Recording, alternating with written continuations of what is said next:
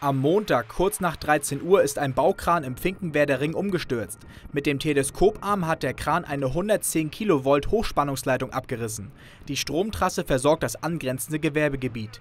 Die Leitung lag auf der Oberleitung der Hafenbahn und musste gesichert werden. Durch den Sturz lief etwa 400 Liter Dieselkraftstoff und 800 Liter Hydrauliköl aus, weshalb ein Großaufgebot an Einsatzkräften und der Gefahrgutzug der Technik- und Umweltschutzwache vor Ort benötigt wurde.